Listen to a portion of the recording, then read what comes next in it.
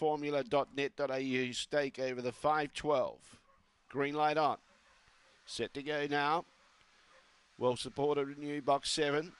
Away, began well. Favourite bump there. Print the money. Goes back. Renews back midfield as well. Rusty Sprocket's got the speed to lead. Ballet Creek, which has been spected odds, gets in the second place. He got onto its heels, lost a length and a half.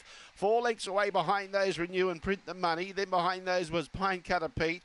Wallback was our man Zed. Uh, Bushman's Maiden, Demora Beckham at the tail end of the field. Rusty Sprocket still in front. Going for the inside, Ballet Creek. Rusty Sprocket joined by Ballet Creek. Ballet Creek Oh, I think Ballet Creek knows in front of Rusty Sprocket. Third, Print the Money. Behind those in fourth placing was our man Zed.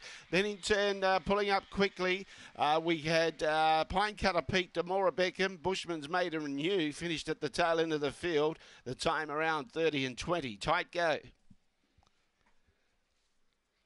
Photo finish. Early split was 447. Number three's got there, Rusty Sprocket. Rusty Sprocket has held on. Number three, Rusty Sprocket has held on to beat Ballet Creek.